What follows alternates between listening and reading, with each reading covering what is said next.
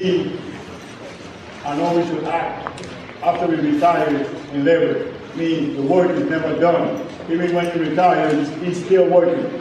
The work is never done. The work continues. The attack against labor is not something that's going to go away. It's something that's going to continue to go on and on and on. So we got to be diligent and keep the fight going. We got to educate the ones behind us. We got to educate our kids. So at this moment, I want to bring Brother Jack Heyman from the member of Local 10.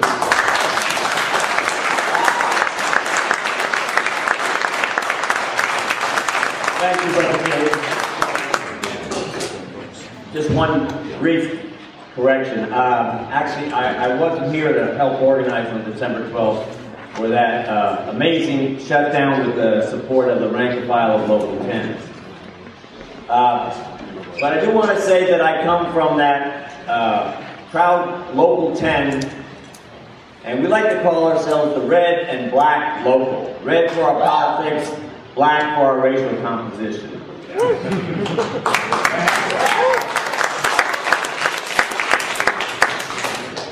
I'd like to uh, begin by dedicating this uh, Labor Solidarity Forum to a real working class hero, Shaun Maloney. For those of you who don't know, Shaun Maloney was the past president of Local 19 here in Seattle. And way before that, back in the 30s, in 34, he was one of the organizers of the Minneapolis Teamster strike and went to jail, federal prison, for organizing over the road campaign for the Teamsters.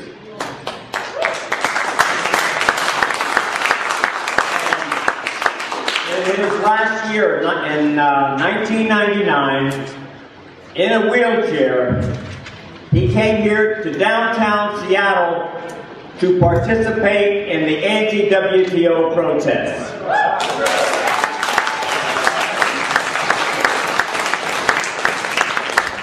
I want to thank the organizers of this event because I think this shows the richness of the culture in this country, politically, culturally, and every other way.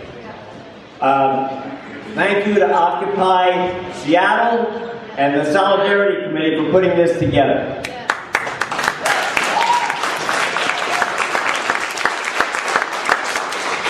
I've been in the uh, since 1980.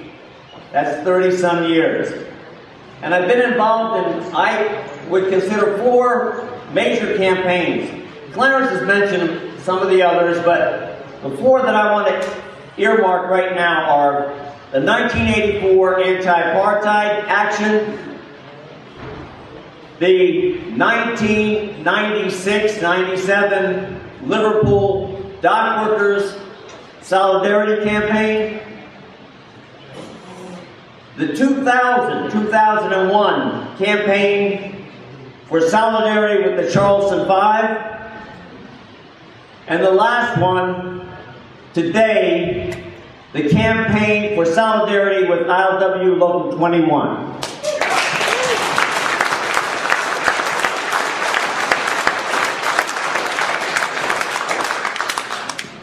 You know, one of the interesting things uh, about Shaun Maloney is that his last protest was here in Seattle in 99, and one of the speakers here tonight, was her first protest, Sister Baruka.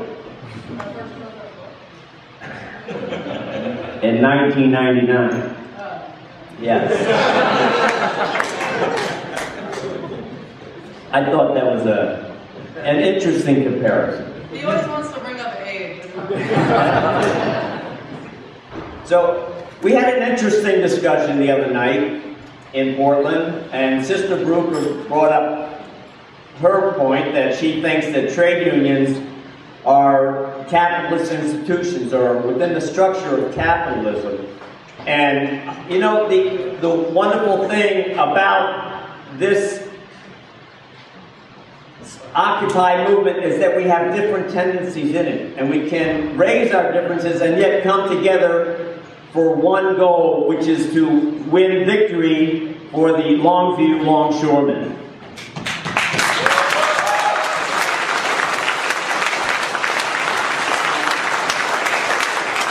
I don't think trade unions are capitalist institutions. I think it depends on the program and the leadership. You can have trade union leadership that's class collaborationist, that believes in partnership with the employer, or you can have class struggle leadership that believes in fighting the employer, just the way Local 21 is doing today.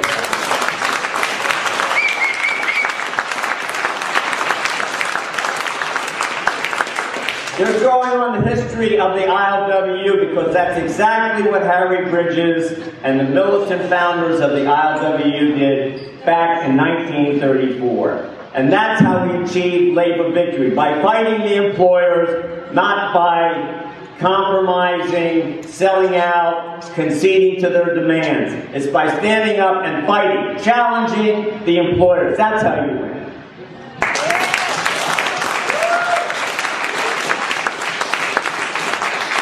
interesting footnote that of the three major strikes in 1934, the San Francisco Longshore strike, and, and actually it was Longshore and Seaman strike, the 1934 Teamster strike in Minneapolis, and the 1934 Autolite factory strike in Toledo, Ohio, were all influenced by communists, by radicals. That's a fact. That's a fact.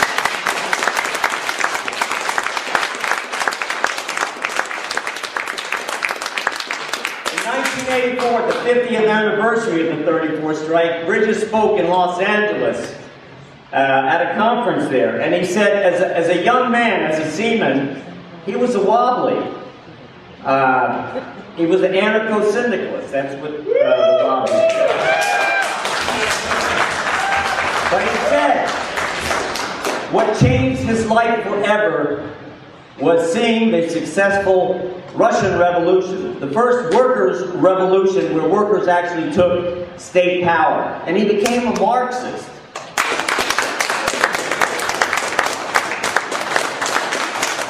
And that is why the government four times tried to deport Harry Bridges, because he didn't disavow his politics, uh, they tried to get him by saying he was a member of the Communist Party. They were unsuccessful in doing that. And I'll tell you, I think the main reason he was never deported is because the longshore rank and file let the powers that be know that if they tried to deport Harry Bridges, the West Coast would be shut down.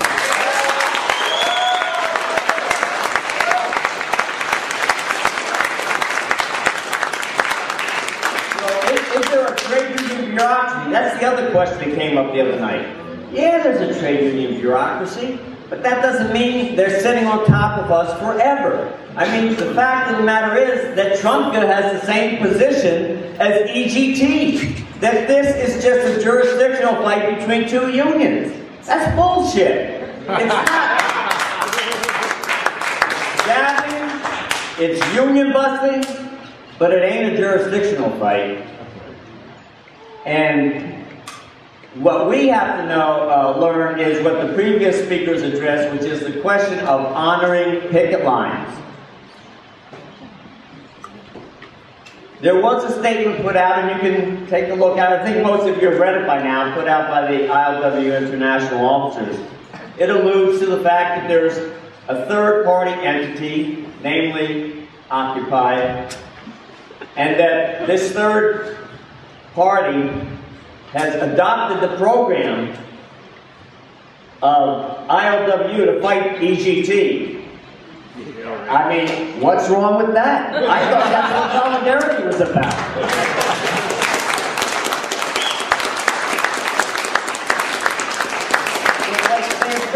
Most was the fact that, when, when, well, you don't have a time to speak. You just sit down, you sit down, sit down, you'll have a chance to speak. Give them two chairs to sit in, please.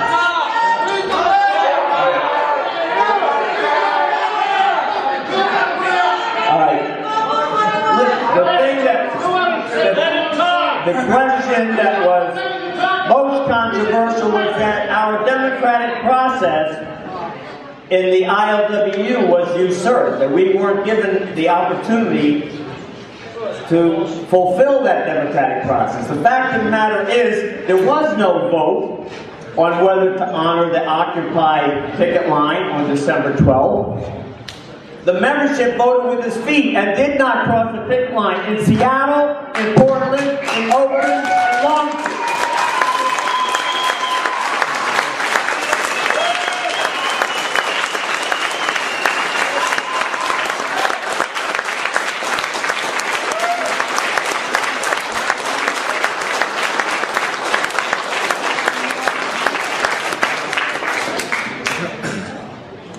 You know what? And there's a sec, there's a section in the program when you get a chance to address whatever you want to address. Let's do this professional, please. All right, in 1980 there was up here a... said that they, that they took. Scott, you'll have a chance to speak. This is a democratic forum. Sit down, brother, When and, did we get and? I'm, I'm going to talk about... Why don't you say, you know, the report, you know, the report,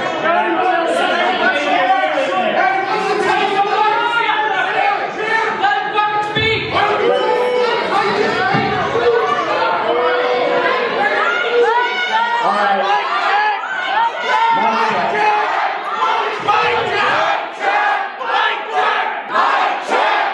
check.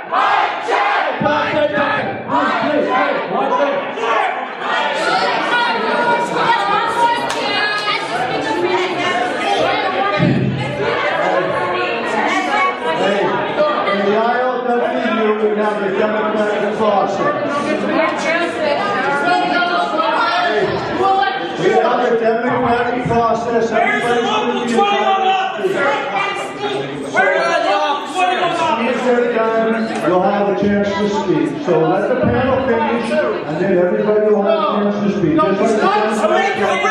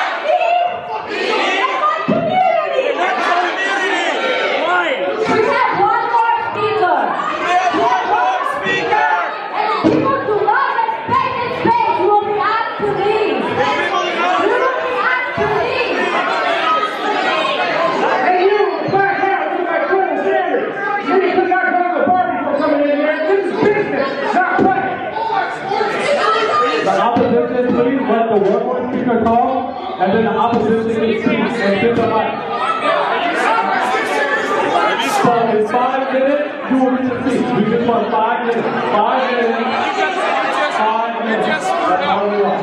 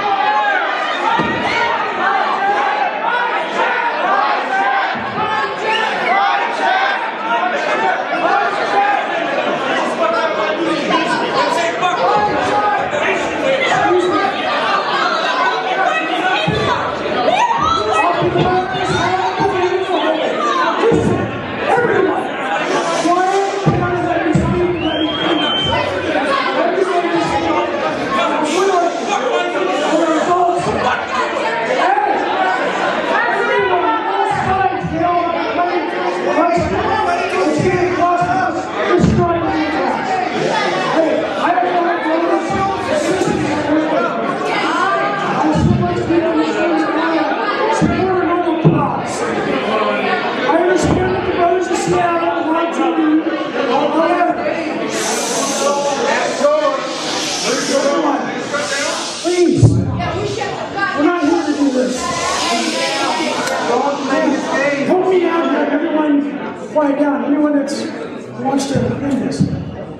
understanders of Brothers from Seattle one way or another.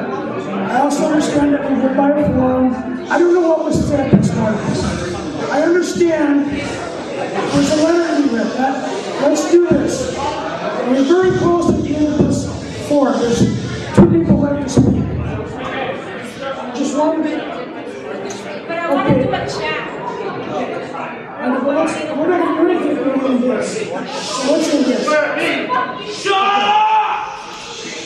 Thank you. Everyone, please just take. Let's, let's do this right.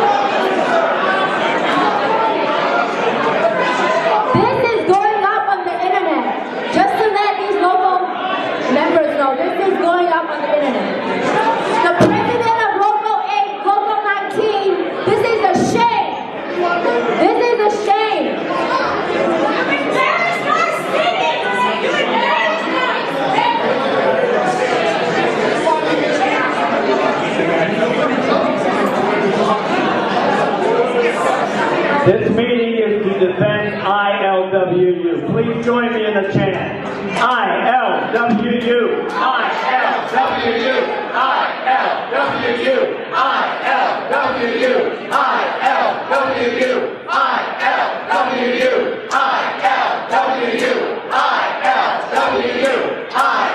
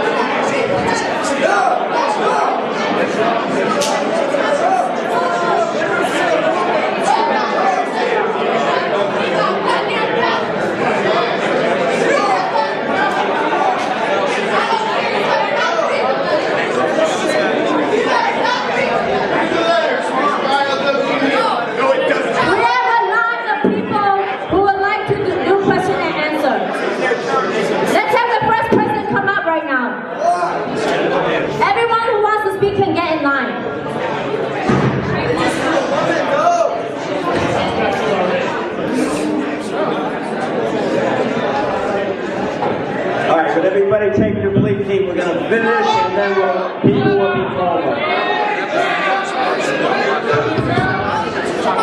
People who do not want to be in this space can leave. Please leave. Liam.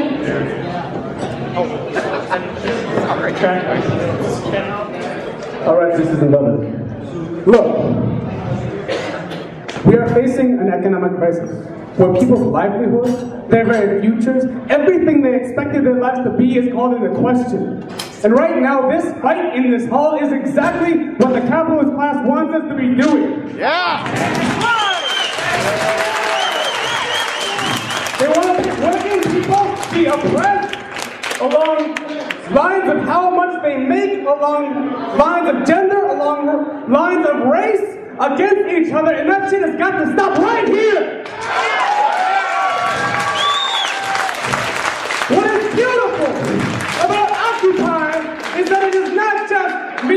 And my struggle, or you and your struggle, but it is the struggle of all of us. It begins with recognition that we are all oppressed, and that we all deserve power, and that we should own everything together. So listen, sisters and brothers of the ILWU, your struggle is just. Your struggle is important, but do not pit that against that of your sisters and brothers. I am a worker. I work as a barista. I am not unionized or organized. Occupy is my only place for power. If we were at your event, we would respect it. We would take our time to speak, and then we would hear what you had to say. We would have a rational discussion because we are sisters and brothers. So do not come here and disrupt our event where we are talking about solidarity between working people during an economic crisis where the very legitimacy of this system is being called into question. Read the letter. Read the letter. The letter right now. Start reading the letter.